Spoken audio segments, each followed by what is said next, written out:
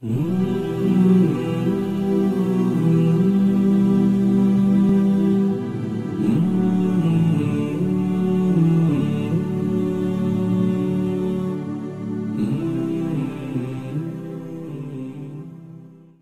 know, we live in this dunya and we are fascinated with this dunya which Allah subhanahu wa ta'ala indeed has created in a beautiful manner. We're fascinated. There are over billions of people which live on this dunya at this moment in time. Over 6 billion people that live on the dunya at this moment in time. This dunya of Allah subhanahu wa ta'ala is so big, my young friends, that there is space in this dunya for billions and billions and billions or more people.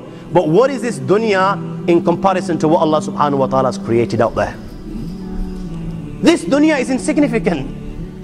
This dunya is meaningless to Allah. It means nothing. It is worthless.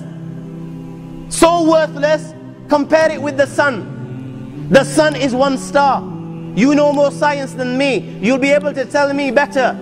Take this planet Earth and you place it inside the sun, and you will be able to place 1.3 million Earths in the sun. 1.3 million earths in the sun. Allahu Akbar.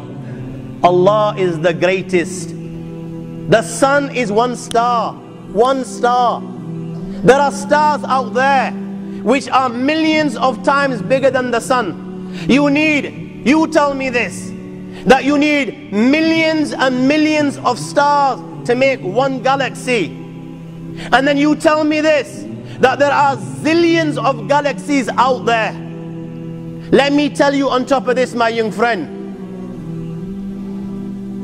After this, whatever you see above, whatever you see above, when you raise your head and you look above, whatever you see above, the zillions and zillions and zillions of galaxies, let me tell you, this is everything there is within the first heaven. Everything there is within the first heaven, and Allah is the creator of seven heavens. Seven heavens. And the distance between the first heaven and the second heaven is 500 years. You know, the distance that can be covered in 500 years, at what speed? Only Allah knows. Only Allah knows. But it will take 500 years to get from the first heaven to the second heaven. 500 years from the second to the third, third to the fourth, fourth to the fifth, fifth to the sixth, sixth to the seventh. Every time it will take 500 years.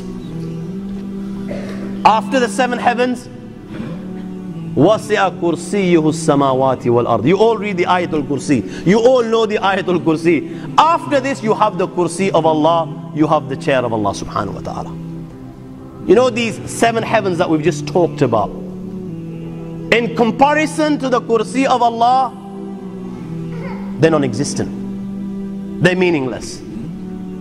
Rasulullah has given an example in a hadith just to give us a little bit of understanding with regards to the seven heavens in comparison to the kursi of Allah.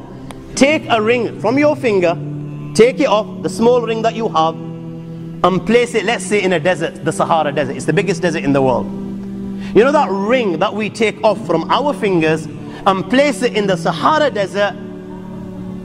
What, what comparison is in between the ring and the Sahara Desert? Nothing. Nothing. The seven heavens is the ring, and the kursi of Allah is the Sahara Desert. After the kursi of Allah, my young friends, you have the arsh of Allah. وَكَانَ أَرْشُ عَلَى الْمَاءِ You have the arsh of Allah. Again, Rasulullah has given, has explained, so just so that we can understand. Take the ring, place it in the desert. This time, the ring is the kursi and the arsh is the desert. What is the kursi in comparison to the arsh of Allah? Nothing. Then you have angels which carry the arsh of Allah. Their heads are in the seventh heaven and their feet are in the lowest earth. My friends, then you have the Lord of the arsh and kursi. لا تدركه الأبصار وهو يدرك الأبصار وهو اللطيف الخبير He is beyond the size of Allah who Allah is what Allah is the greatness of Allah is beyond the comprehension of my little mind